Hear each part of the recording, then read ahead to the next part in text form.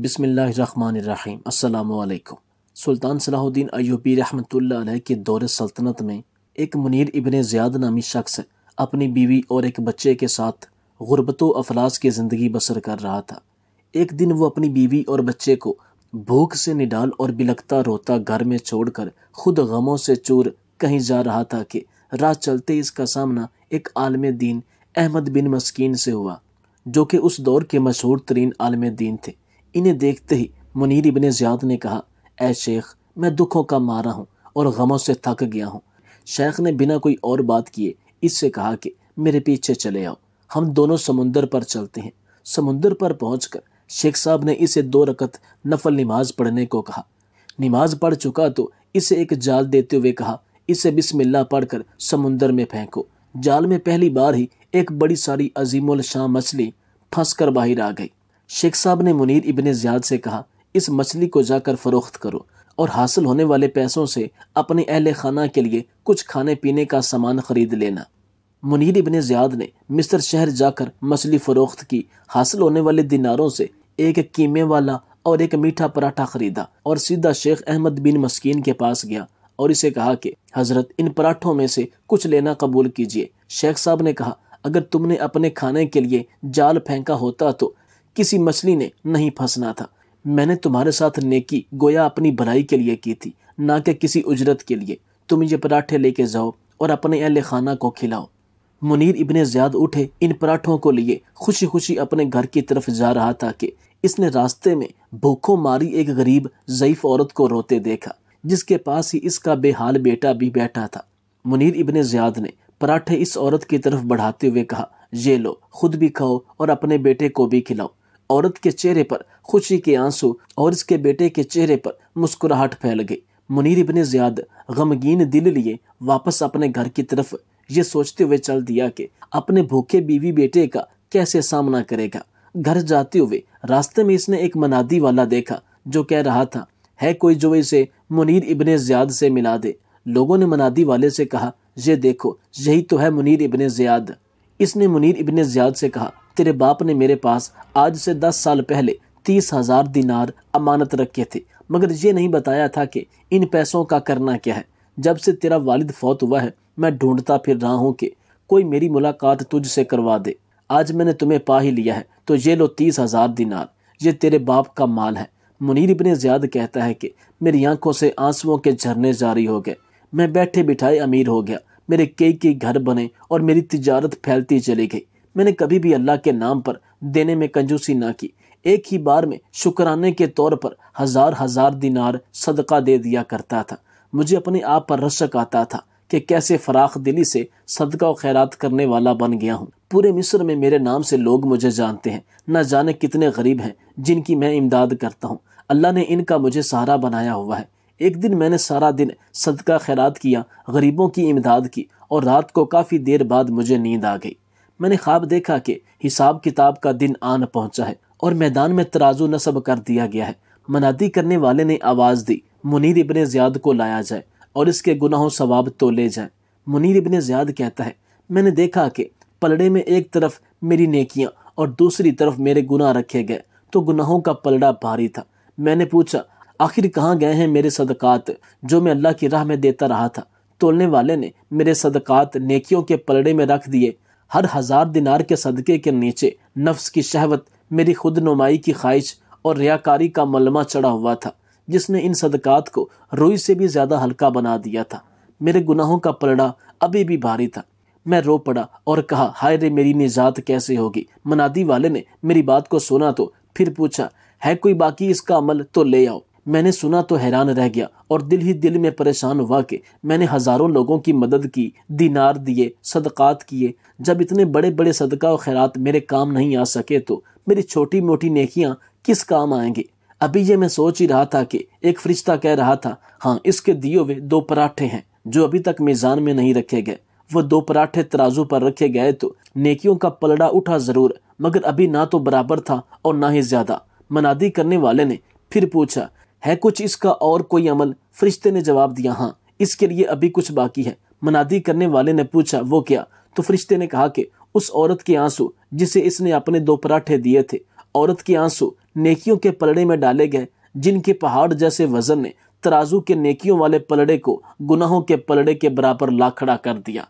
मुनीर इबन ज्याद कहता है, मेरा दिल खुश हुआ कि अब निजात हो जाएगी। मनादी वाले ने पूछा, है कोई और अमल या कुछ और? या कोई बाकी अमल इसका? फरिश्ते ने कहा हाँ अभी इस बच्चे की मुस्कुराहट को पलड़े में रखना बाकी है, जो पराठे लेते हुए उसके चेहरे पर आई थी। मुस्कुराहट क्या पलड़े में रखी गई? नेकियों वाला पलड़ा भारी से भारी होता चला गया।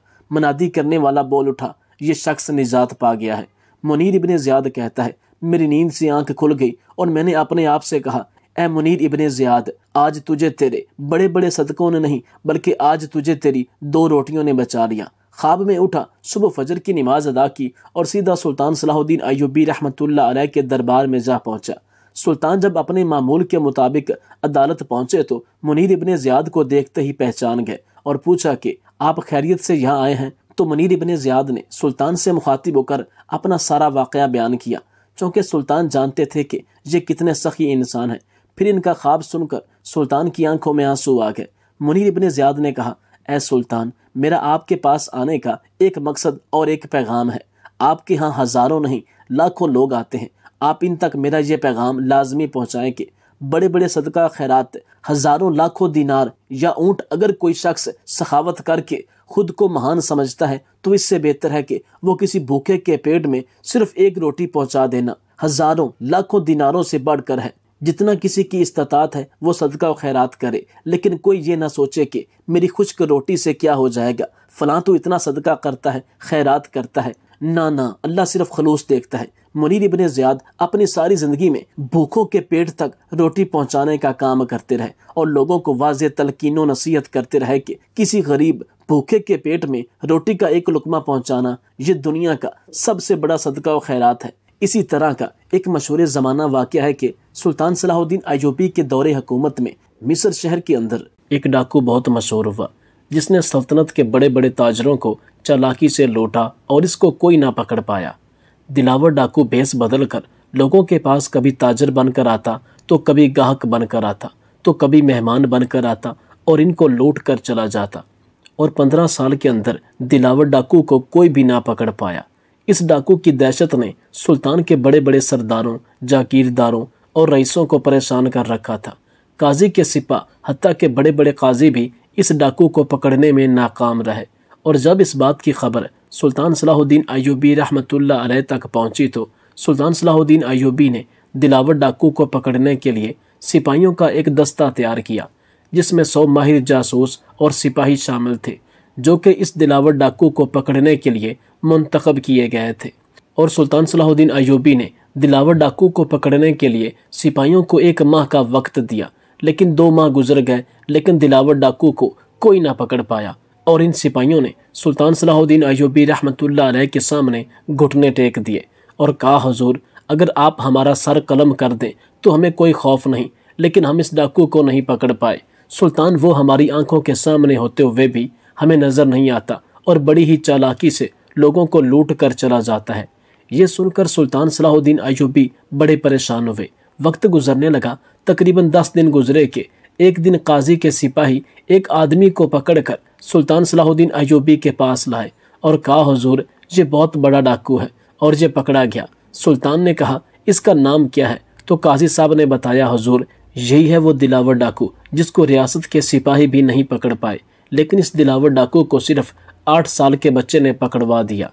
ये सुनकर सुल्तान सलाहुद्दीन अयूबी बड़े हैरान परेशान हो गए कि आखिर जिस डाकू को इतने बड़े सिपाही, काजी कोई नहीं पकड़ पाया, एक सात साल के बच्चे ने कैसे पकड़ा? तो सुल्तान सलाहुद्दीन अयूबी रहमतुल्लाह ने काजी साहब से पूछा, काजी साहब, आखिर इस नन्हे बच्चे ने इतने बड़े डाकू को कैसे पकड़ा? तो इसने जब इस बच्चे की अक्लमंदी का वाक्य सुल्तान सलाहुद्दीन अयूबी रहमतुल्लाह को बताया तो सारे दरबारी इस बच्चे की अक्लमंदी को देखकर खड़े हो गए।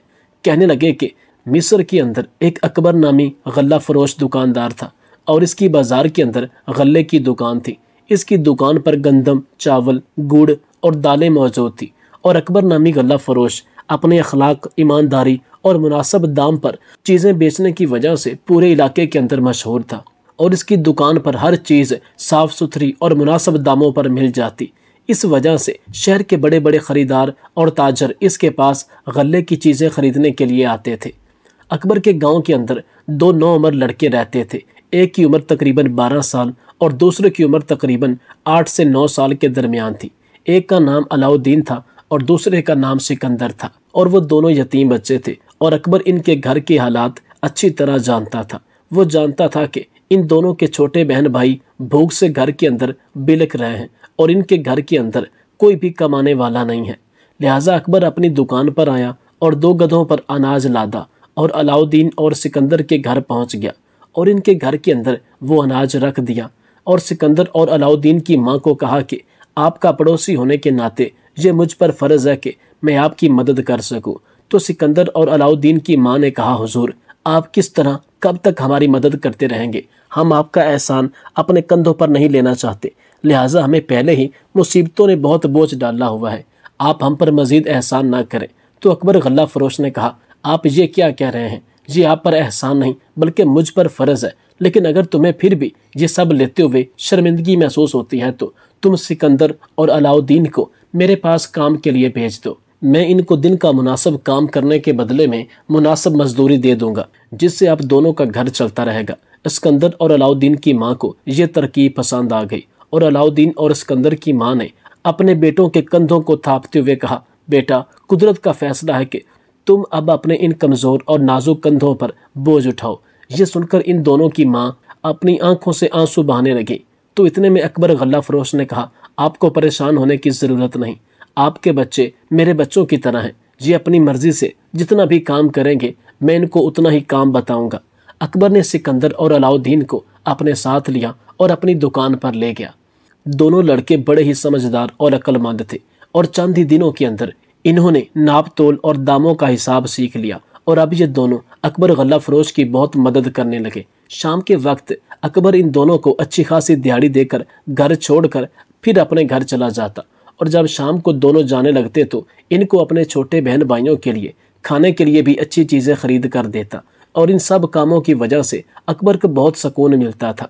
वक्त गुजरता रहा और अकबर गला फरोश का कारोबार पूरे बाज़ार के अंदर मशहूर हो गया था और शहर के बड़े बड़े खरीदार अकबर के पास आते हती के बड़े बड़े किलादार और जागीरदार के घरों में अकबर की दुकान से अनाज खरीदने के लिए भेजा जाता। इन दोनों में से अलाउद्दीन, जिसकी उम्र तकरीबन आठ से नौ साल थी, वो बहुत ही जहीन और अक्लमंद था और सिकंदर इससे थोड़ा कम अक्लमंद था। अलाउद्दीन की अक्लमंदी ने अकबर ताजर को बहुत हैरान, परेशान कर रखा था और अकबर ने अलाउद्दीन की अक्लमंदी की वजह से अपने कारोबार में बहुत तरक्की कर ली। हती कि एक दिन एक बड़ा किलेदार अकबर की दुकान पर अनाज खरीदने के लिए आया और कहा, हजूर, मैंने आपके पास बहुत सारा सामान तो खरीद लिया, लेकिन मेरे पास कोई मुनासब सवारी नहीं, जिससे मैं ये सामान अपने किले के अंदर लेकर जा सकूँ। तो अकबर ने इस किलेदार के सामने माजरत कर ली और कहा कि, मेरे पास कोई ऐसी सवारी नहीं, जिससे मैं ये सामान आपके घर तक पहुँचा सकूँ। लिहाजा वो गाहक चला गया।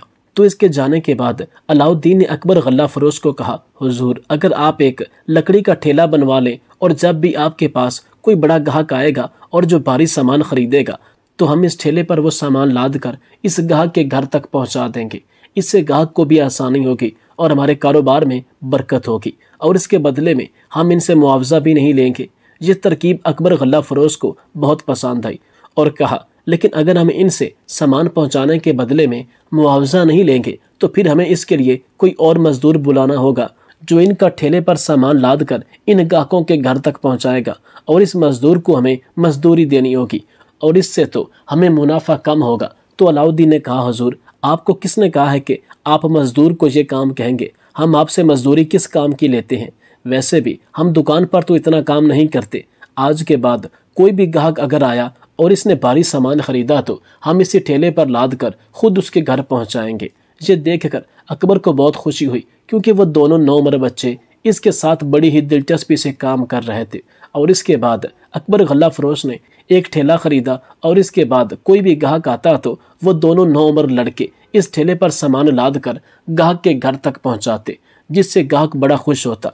और इससे अकबर गल्ला फरोश का कारोबार दिन दुगनी, रात चुगनी तरक्की करने लगा। अब अकबर गल्ला फरोश के पास इतना सामान हो गया था कि इसकी दुकान के अंदर जगह रखने के लिए ख़त्म हो गई और अकबर गल्ला फरोश बहुत खुश था।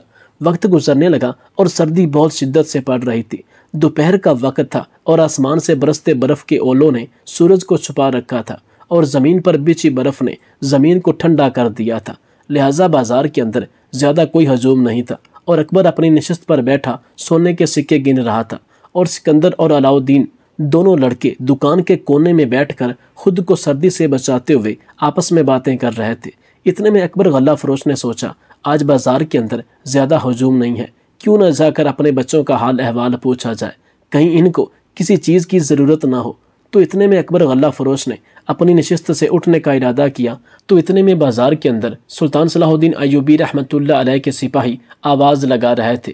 ए ताजरो, अपने माल और जान की हिफाजत करो। सल्तनत के अंदर एक डाकू मौजूद है, जिसका नाम दिलावर डाकू है, और वो डाकू बड़ा ही खतरनाक और इतना चालाक है कि इसकी चालाकी से कोई भी इंसान बेवकूफ़ हो जाता है और वो लूट कर चला जाता है। सुल्तान की पूरी कोशिश के बावजूद इस डाकू को अभी तक नहीं पकड़ पाया गया।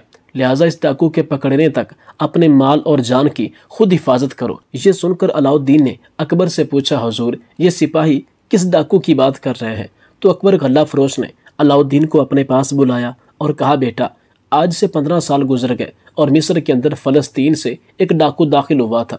इस डाकू ने इन पंद्रह सालों के अंदर कोई ऐसा ताजर नहीं बचा जिसको इसने ना लूटा हो। और इसके लूटने का अंदाज इतना मुख्तलिफ़ होता है कि कोई भी इसको पकड़ नहीं पाता और कोई भी इस पर शक नहीं कर पाता। और वो इतना तेज़ी से भेस बदलता है कि लोगों के सामने होते हुए भी इसको कोई पहचान नहीं सकता। लिहाजा अगर मैं कभी दुकान पर मौजूद न हो तो किसी भी अनजान आदमी से ज़्यादा बातें नहीं करना, इसको दुकान के बारे में कुछ नहीं बताना और मेरे आने का इंतज़ार करना। यह सुनकर अलाउद्दीन हैरान परेशान हो गया। तो अकबर ताजर ने कहा, ए अलाउद्दीन, तुम परेशान ना हो। इसकी इतनी ज़रूरत के वो हमें नहीं लूट सकता। लिहाजा तुम इस बारे में ज़्यादा ना सोचो और जाओ अपने ऊपर कोई कपड़ा ओढ़ लो। सर्दी बहुत शिद्दत की हो रही है, या फिर तुम ऐसा करो कि आज बाज़ार में ज़्यादा गाहक मौजूद नहीं है। तुम दोनों अपने अपने घर चले जाओ और जाकर गर्म बिस्तरों के अंदर आराम करो। तो इतने में अलाउद्दीन ने कहा, नहीं हजूर, ऐसा नहीं हो सकता। आप यहाँ सर्दी में बैठकर चीज़ें बेचें और हम आराम से जाकर बिस्तर पर लेट जाएँ। हम ऐसा नहीं कर सकते। हम आपके साथ शाम को ही अपने घर जाएँगे। ये सुनकर अकबर ताजर ने अलाउद्दीन के माथे पर बोसा दिया और इसको गले से लगाया और कहा, बेटा, अल्लाह आपको लंबी ज़िंदगी दे। अलाउद्दीन को अकबर गला फरोश ने कहा, बेटा, तुम यहाँ दुकान की रखवाली करो। मैं अपने घर जाकर अपने बच्चों का हाल अहवाल पता करता हूँ। आज सर्दी बहुत ज़्यादा है। हो सकता है इनको किसी चीज़ की ज़रूरत हो तो। इतने में अलाउद्दीन अपनी जगह से उठकर सिकंदर के पास बैठ गया और अकबर गल्ला फरोश ने अभी उठने का इरादा ही किया था। तो इसने देखा कि सामने से एक कीमती लिबास में मलबूस सर पर पगड़ी पहने हुए हाथ में एक कीमती तस्वीर लिए एक आदमी इसकी तरफ़ आ रहा है। इसको देखकर अकबर गल्ला फरोश ने जाने का इरादा तरक कर दिया और दोबारा अपनी निशस्त पर बैठ गया। तो इतने में वो आदमी अकबर गल्ला फरोश की दुकान पर आया और पूछा, हजूर, मैं आपसे बहुत भारी मकदार में गल्ला खरीदना चाहता हूँ और मैंने पूरे शहर के अंदर आपके बारे में सुन रखा है कि आपके पास चीज़ साफ़ सुथरी अच्छी और म्यार वाली मुनासब दाम पर मिल जाती है। इसलिए मैंने सोचा कि मैं अपने सामान आपसे ख़रीदूँ। अपनी तारीफ़ सुनकर अकबर गल्ला फरोश बड़ा खुश हो गया, क्योंकि इससे पहले भी वो कई गाहकों से अपनी तारीफ़ सुन चुका था। इतने में सिकंदर और अलाउद्दीन भी अकबर गल्ला फरोश के करीब आ गए कि ये ग्राहक जो कोई चीज़ कहेगा, हम वो चीज़ तोल कर इसके हाथ में थमा देंगे। और इससे पहले भी वो यही करते थे कि कोई भी गाहक आता तो अकबर गल्ला फरोश अपनी नशस्त पर बैठा रहता और सिर्फ़ रकम वसूल करता। नाप तोल का काम सिकंदर और अलाउद्दीन करते थे और इसके बदले में अकबर इनको दिहाड़ी देता था। अब वो दोनों इसके पास खड़े थे और वो आदमी कह रहा था कि, हुजूर, असल में बात यह है कि मैंने सामान थोड़ा नहीं खरीदना। मैंने बहुत भारी मकदार में सामान खरीदना है। मुझे भारी मकदार में सामान चाहिए, क्योंकि मैं किला के हाकम की दावत कर रहा हूँ, और इस दावत में मुझे अच्छा अनाज, अच्छी नस्ल के चावल और कुछ गुड़ चाहिए होगा। ये सुनकर अकबर गल्ला फरोश ने कहा कि, हजूर, आप हुक्म करें, हम सामान आपके घर तक पहुँचा देंगे, लेकिन आप बताइए, आपको सामान खरीदना क्या है? तो यह सुनकर इस आदमी ने कहा कि, मैं अपने साथ तीन ऊँट लेकर आया हूँ आप इस बात से अंदाज़ा लगा सकते हैं कि मैंने कितना सामान खरीदना है। ये सुनकर अकबर बड़ा खुश हो गया कि मैं तो समझा कि आज सारा दिन ऐसे ही सर्दी में फारग बैठना पड़ेगा, लेकिन अल्लाह का करम देखें कि मेरे पास इतना बड़ा वसीला बनाकर भेज दिया। अब वो आदमी अपना सामान अकबर गला फरोश, अलाउद्दीन और सिकंदर को कहता गया और वो दोनों नाप तोल करके सामान इस आदमी के मुलाजमों के हवाले करते गए। और तीन ऊँटों पर मौजूद तीनों मुलाजिम वो सामान ऊँटों पर लादने लगे और इस तरह करते करते बहुत सारा वक्त गुजर गया और इस आदमी ने दुकान के अंदर जितना भी गंदम, जितना भी गुड़ और जितने भी चावल थे, वो सारे खरीद लिए। और अब और इसके तीनों मुलाजमों ने वो सामान अपने अपने ऊँटों पर लाद लिए। इतने में तंदूर की दुकान पर मौजूद लड़का चार प्याले दूध के लेकर आया और इसने एक गर्म दूध का प्याला इस आदमी के हवाले किया, जो सामान खरीदने के लिए आया हुआ था। और बाकी तीन प्याले इसके मुलाजमों के हवाले कर दिए। इतनी ज़्यादा सर्दी में गर्म दूध को देखकर वो तीनों मुलाजम बड़े खुश हो गए और अकबर को दुआएँ देने लगे। अब अकबर ने देखा कि मेरी दुकान का जितना भी सामान था, इसने खरीद लिया है। वो दिल ही दिल में बड़ा खुश था और अब इसने इस आदमी को कहा कि जितना तुमने सामान खरीदना है, मैंने इसके मुनासब दाम लगाए हैं और इस हिसाब से तुम्हारे तीन हज़ार सोने के सिक्के बनते हैं। ये सुनकर इस आदमी ने अपने थैले से तीन थैले निकाले और इन तीन थैलों में एक एक हज़ार सोने के सिक्के थे। इसने अकबर फरोश के हवाले कर दिए और कहा यह लें आपकी रकम। अकबर ने लकड़ी के बने हुए फटे पर एक थैला उंडेला और अपने पास अलाउद्दीन और सिकंदर को बुलाया और कहा, आप ये सिक्के गिनने में मेरी मदद करें। सिकंदर फटे के जैसे ही करीब आया तो बैठने लगा तो इसके हाथ पर एक सिक्का लगा और वो सिक्का नीचे गिर गया। वो लकड़ी का बना हुआ तख्त तकरीबन पाँच फुट की ऊंचाई पर था और जैसे ही नीचे गिरा तो अलाउद्दीन नीचे झुका और इसने वो सिक्का उठाकर अपनी जेब में डाल दिया और इस बात का अंदाज़ा इस दुकान में मौजूद उस आदमी को भी नहीं होने दिया और ना ही अकबर गल्ला फरोज को पता चला कि एक सिक्का इसने छुपा लिया है। लेकिन अकबर बड़ा ही दाना और अक्लमंद गल्ला फरोश था और इसने ये महसूस कर लिया कि नीचे गिरने वाला सिक्का अलाउद्दीन ने इन सिक्कों के अंदर नहीं डाला, बल्कि इसने छुपा लिया है। एक सिक्का इसके लिए बहुत मामूली रकम थी। लेकिन अकबर गला फरोश को बहुत अफसोस हुआ कि मैं तो अलाउद्दीन को बड़ा ही अक्लमंद और जहीन समझता था और मैं इसके बारे में ये कभी नहीं सोच सकता था कि यह चोरी करेगा और आज इसकी हरकत पर मुझे बहुत अफसोस हुआ। अब सिक्के गिनते गिनते अलाउद्दीन दुकान से चला गया और अपने मालिक, यानी कि अकबर गला फरोश को भी नहीं बताया।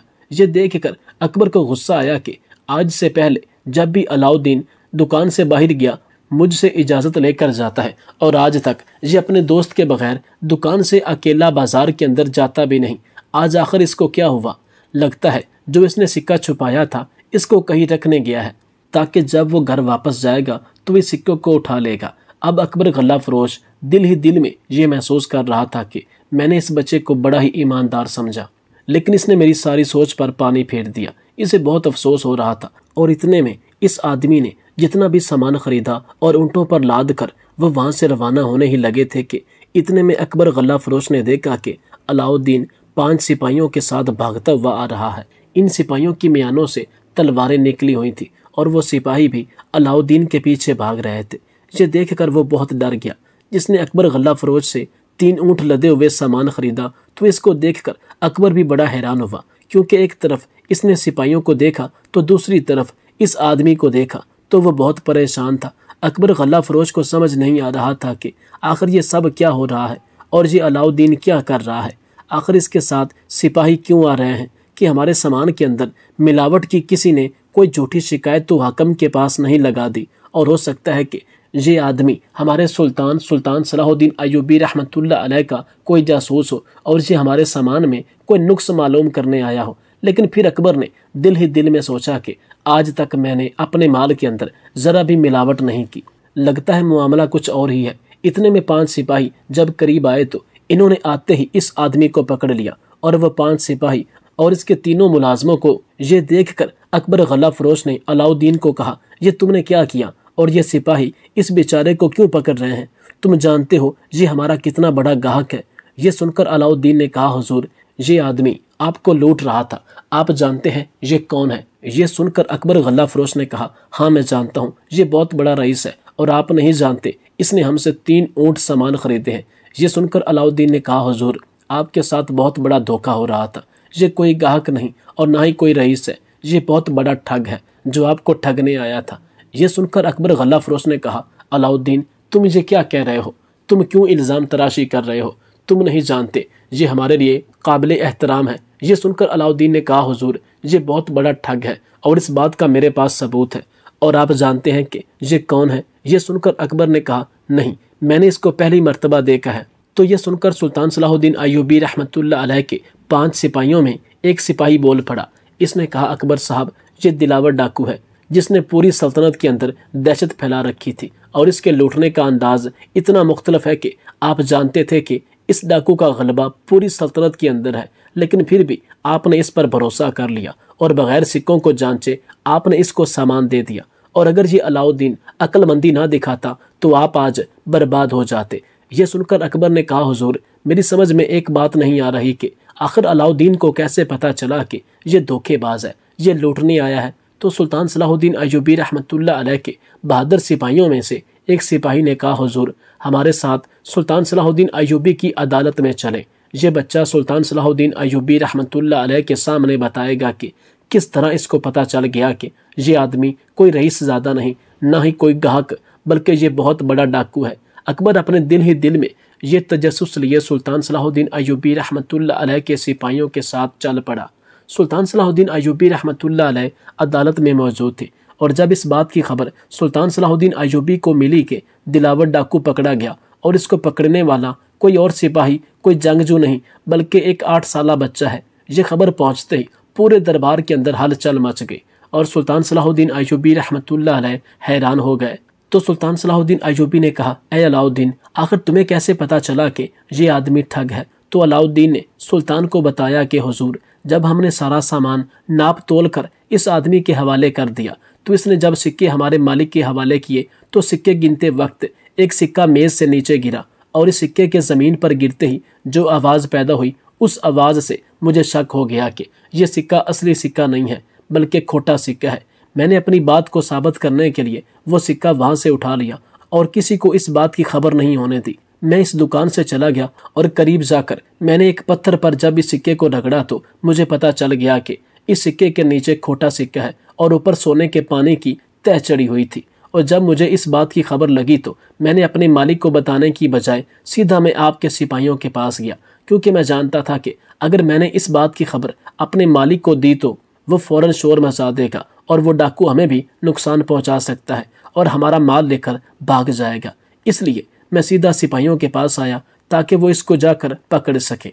ये सुनकर सुल्तान सलाहुद्दीन अयूबी रहमतुल्लाह बड़े हैरान हो गए कि इतना बड़ा डाकू, इतना बड़ा चोर, जिसको पंद्रह साल के अंदर कोई सिपाही, कोई जंगजू कोई आदमी नहीं पकड़ पाया, सिर्फ़ एक बच्चे ने अपनी अक्लमंदी से इतने बड़े डाकू को पकड़ लिया।